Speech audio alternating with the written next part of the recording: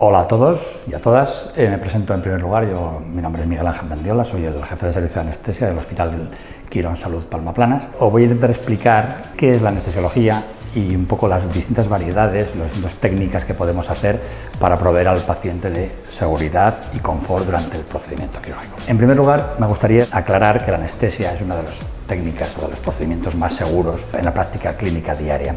Es muy segura porque se ha desarrollado mucho en los últimos años, disponemos de tecnología de última generación, disponemos de unos circuitos y unos estándares de calidad muy altos y podemos considerar que tienen más riesgo muchas actividades de la vida cotidiana que pasar por un quirófano. Siempre con la premisa de que los quirófanos tienen que estar perfectamente equipados, los centros tienen que estar perfectamente homologados y los profesionales tienen que tener la debida acreditación. Esto es un tema importante. Y tener siempre los recursos materiales y humanos necesarios para solventar cualquier situación. Aunque la anestesia tiene un riesgo bajo, no quiere decir que esté exenta de riesgos.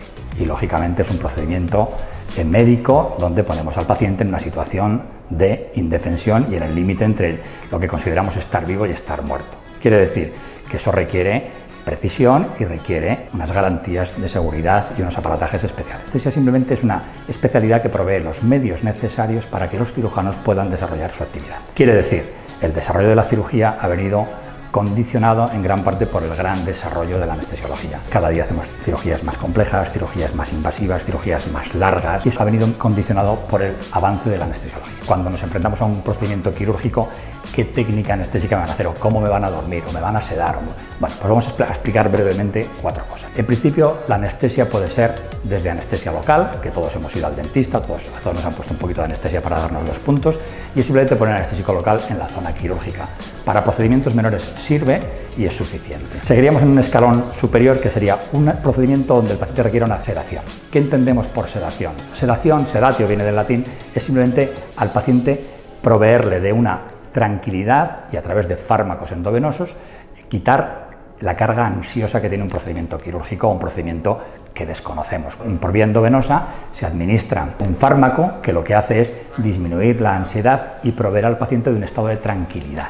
¿eh? Eso sería una sedación consciente. El paciente no pierde funciones vitales, simplemente está tranquilo, está, está desconectado de su medio. ¿Eh? El paciente está bueno, en una situación donde dice, bueno, hágame usted lo que quiera, que yo estoy bien. ¿eh? Esa es una, una sedación consciente. Pasamos a un eslabón superior donde el paciente requiere una sedación un poco más profunda. Bueno, pues a través de la vía endovenosa también administramos una serie de fármacos que lo que hacemos es que el paciente entre en un sueño, eh, diríamos, no demasiado profundo, de tal manera que el paciente no pierda las funciones vitales, no pierda la capacidad de respirar espontáneamente y ante un estímulo táctil o doloroso, el paciente pueda comunicarse con su medio. Sería una sedación profunda.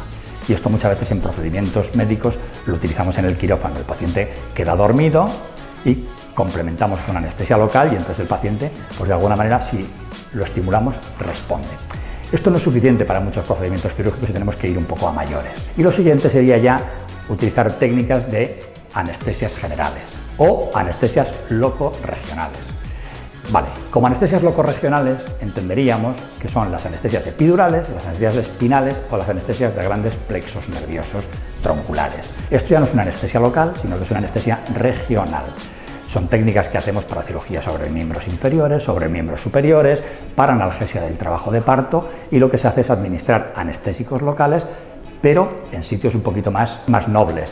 El espacio epidural, el, espacio subaracnoideo y por último la anestesia general. La anestesia general es el estándar donde todos los anestesiólogos tienen que estar perfectamente formados en, esa, en área, porque es lo que más se hace, que es proveer al paciente de una desconexión total al medio ¿eh? proveyéndolo de protección ante el dolor intenso, protección neurovegetativa para cualquier estímulo y garantizar la permeabilidad de la vía aérea. Para eso requiere que el paciente sometido a anestesia general tiene que ser intubado o bien con un tubo endotraqueal o bien con una mascarilla laringea, que es un dispositivo que utilizamos supraglótico y el paciente no se entera de nada. Vale. Esa sería un poco a grandes rasgos los, distintos tipos de anestesia. ¿Vale? Habitualmente lo que más se hace es anestesia locorregional, sedaciones y anestesias generales. La sedación en los distintos grados que expliqué. Muchas veces empezamos con sedaciones y los pacientes a veces no pueden aguantar, están incómodos y podemos cambiar de una técnica a otra y podemos pasar de una sedación a una anestesia general. Vale. Cualquier técnica realizada en el centro adecuado, con los medios técnicos necesarios y por profesionales cualificados son seguras y eso hay que dar claro. No hay que tener miedo a la anestesia, no hay que tener miedo a la anestesia. Hay que ir con respeto, pero no hay que tener miedo. Es segura, bien aplicada y en el centro correcto, insisto. En este contexto, el paciente que se va a someter a una cirugía del tipo que sea, mm, tenemos cirugías para elegir, porque de arriba abajo podemos elegir, pero independientemente del tipo de cirugía que sea, siempre hay un procedimiento que se llama perioperatorio. O sea, no es solamente cuando voy a ir al quirófano y me voy a operar.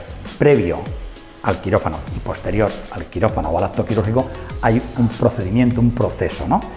Entonces ese proceso es importante también conocerlo, desde que el cirujano indica la cirugía hasta que se le hace una historia clínica con enfermedades, patología asociada, problemas de tipo alérgico, cualquier enfermedad.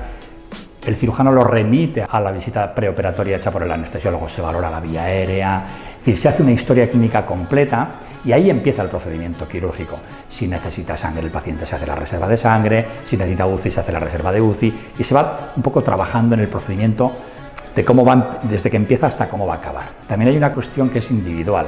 ¿Cómo puedo mejorar yo mi estado general cuando yo voy a operarme? Bueno, pues hay unas cosas que pueden mejorarse. Por ejemplo, si fumas, pues dejar de fumar o reducir al máximo la cantidad de cigarrillos que te fumas. Intentar reducir el consumo de alcohol. Intentar dormir las horas intentar mm, hacer una vida lo más saludable posible, comer pocas grasas preoperatoriamente, en fin, cosas que pueden hacer que tu estado general sea mejor cuando acudes al, al acto quirúrgico. Una vez que el paciente ya se ha operado y cómo tratamos el dolor, bueno, pues ya desde el momento de la intervención quirúrgica ya estamos pensando y estamos pendientes de proveer al paciente de analgesia suficiente para que en el posoperatorio haya una continuidad y cuando despierten los pacientes no tengan dolor. O sea, eso lo vamos preparando ya en el intraoperatorio.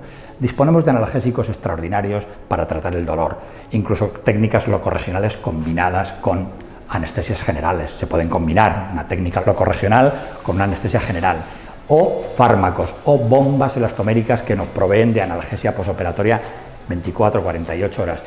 No hay que tener dolor. A veces se tiene un poco de molestia, pero no hay que tener dolor. O sea, tenemos herramientas para tratar el dolor. Esos grandes mitos de la anestesia de mm, lo he eliminado por la orina, no lo tengo que orinar. Hay grandes mitos que hay que. La anestesia son fármacos que se administran por vía endovenosa y se metabolizan como se metabolizan todos los fármacos. En el hígado, se eliminan a través del riñón y ya está, como cualquier fármaco que tiene su, proceso. Entonces, muchas veces las anestesias generales, lógicamente, pues a veces dan un poco de sensación de aturdimiento, un poco de sensación de adormecimiento, hasta que se van eliminando los fármacos en el metabolismo normal que sufren todos los fármacos en nuestro organismo. Bien, una vez que pasa esto, pues ya lo siguiente es la, la, evolución en planta y ya está. ¿Qué aconsejaría yo a un paciente que se va a operar? Punto uno, que esté tranquilo, que vaya a un centro homologado, que vaya a profesionales cualificados y que se deje llevar por ese circuito que hemos hablado, que no tenga miedo, que la anestesia es segura, que bien administrada y la tasa de complicaciones es muy baja. Con lo cual, yo os animo al que tenga que operarse, al que quiera operarse o al que, pues que lo haga sin ningún tipo de miedo.